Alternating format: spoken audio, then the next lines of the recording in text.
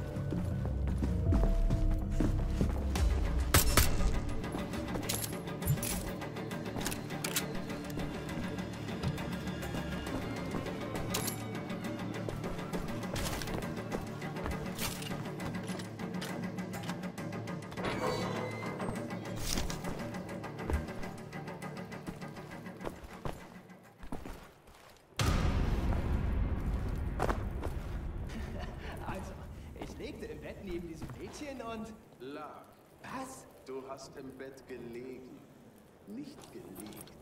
Legen, liegen, wo ist der Unterschied? Du legst Eier. Du liegst im Bett. Ich nehme an, du bist kein Vogel, oder? Willst du jetzt die Geschichte hören oder nicht? Die Sprache richtig zu können ist wichtig. Warum hackst du ständig auf jedermanns Grammatik rum? Weil ich an die Erhaltung der Reinheit unserer wunderschönen Sprache glaube. Damit wir nicht der Barbarei verfallen. Na, dann erzähle ich die Geschichte eben nicht. Ich sag ja nur, wenn wir... Ach, halt die Klappe.